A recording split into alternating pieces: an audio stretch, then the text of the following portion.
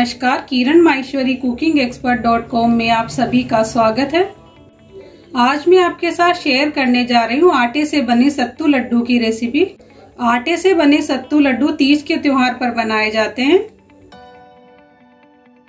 आटे के सत्तू लड्डू बनाने के लिए सबसे पहले आप 500 ग्राम आटा ले लें। ये नॉर्मल आटा है जो हम रोटी बनाते हैं। मैं इस आटे को बड़ी परात में ट्रांसफ़र कर रही हूँ। अब आप इसमें बीच में होल कर दें। अब आप एक कटोरी में गर्म पानी ले लें। 40 से 50 ग्राम तक पानी है ये। और 40 से 50 ग्राम इसमें घी डाल दें। और इसे अच्छे से मिक्स कर लें। अभी हम आटे में दाना बनाएँगे, जिसे मोगरी पाड़ना बोला जाता है। घी और पानी अच्छे से मिक्स हो चुके हैं। अब आप आटे में बीच में डाल दें इसे। थोड़ा थोड़ा डालें और इसे अच्छे से मिक्स करें। इससे आटे में बहुत ही बढ़िया दाना पड़ेगा। इसे आप थोड़ा थोड़ा डालें और हाथों से मिक्स करते जाएँ।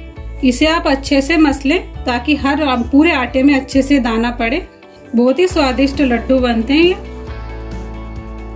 मैंने पूरे आटे को अच्छे से मसल लिया है। अगर आप हाथ में ऐसे देखोगे ना तो पूरे में अच्छे से दाना लग रहा है। अब मैं इसे फिर से इस बाउल में ट्रांसफ़र कर रही हूँ। अब इसे हाथों से अच्छे से दबा दें। अब इसे ढककर 10 मिनट के लिए रख दें। सत्तू लड्डू के आटे को रखे हुए 10 मिनट हो चुके हैं। आप इसे एक बार हाथों से अच्छे से मसल लें। आप देखेंगे कि एकदम बढ़िया सा दाना पड़ चुका है इसमें। बेसन के सत्तू लड्डू और चावल के सत्तू लड्डू की रेसिपी मैं अपलोड कर चुकी हूँ। इसका लिंक आपको मैं डिस्क्रिप्शन बॉक्स में दे दूँगी, आप वहाँ जाके चेक कर सकते हैं। मैंने फिर से सेम परात ली है। अब आप रवा छानने वाली छलनी ले लें। इसमें आटा थोड़ा थोड़ा डालें और इसे छान लें। ये मोटे मोटे दाने बच रहे हैं ना, इसे आप हाथों से मसलते जाएँ। मैंने सारे आटे को छान लिया है। देखिए कितनी परफेक्ट मोगरी पड़ी है, एकदम छोटा छोटा बारीक बारीक दाना है। अब एक कढ़ाई को गैस पे रखें। इसमें छाना हुआ आटा डालें। एक साथ ना डालें पूरा थोड़ा थोड़ा डालें। दो बारी में इसे आप सेकें। अब इसे कंटिन्यू चलाते हुए सेके। आटे के सत्तू लड्डू तो आप सभी बनाते होंगे। इस तरह आप एक बार ज़रूर ट्राई करें, बहुत ही स्वादिष्ट लड्डू बनते हैं। आप इसे कंटिन्यू चलाते हुए सेके। हल्का गोल्डन कलर आए, तब तक हमें इसे सेकना है। मुझे आटे को सेकते हुए तीन से चार मिनट हो चुके हैं। आप देख सकते हैं, हल्का कलर चेंज होने लग चुका है। अभी इसे एक से दो मिनट और सेकना है। मैंने आटे को एक से दो मिनट के लिए और सेका है। आप देख सकते हैं, बढ़िया बादामी कलर आ चुका है। इससे ज़्यादा नहीं सेकना है। आप इसे किसी थाली में निकाल लें। इसी तरह बाकी बचे आटे को भी सेक लें। मैंने सारा आटा सेक लिया है। अब आप इसे पूरी तरह से ठंडा होने दें। लड्डू के लिए आटा पूरी तरह से ठंडा हो चुका है। अब आप एक बड़ा मिक्सिंग बाउल या परात ले लें। इसमें ये डाल दें। अब इसमें 250 ग्राम शक्कर डाल दें। पिसी हुई शक्कर मैंने 500 ग्राम आटा लिया था तो 250 ग्राम शक्कर डाल रही हूँ। इसे अच्छे से मिक्स कर लें। शक्कर और आटा अच्छे से मिक्स हो चुके हैं। मैंने 500 ग्राम घी लिया, एक साथ बिल्कुल भी ना डालें।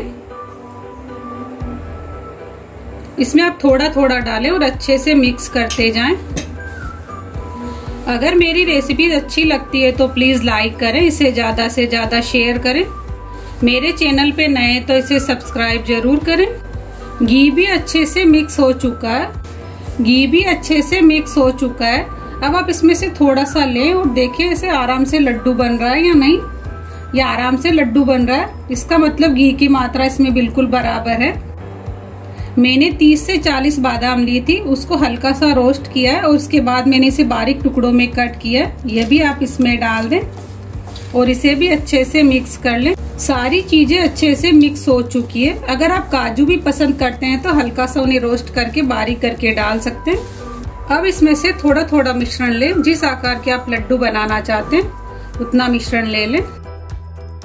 बहुत ही स्वादिष्ट लड्डू बनते हैं और खाने में बहुत ही ज़्यादा पौष्टिक होते हैं ये। देखिए। इस तरह से आप लड्डू तैयार करें और प्लेट में रखें।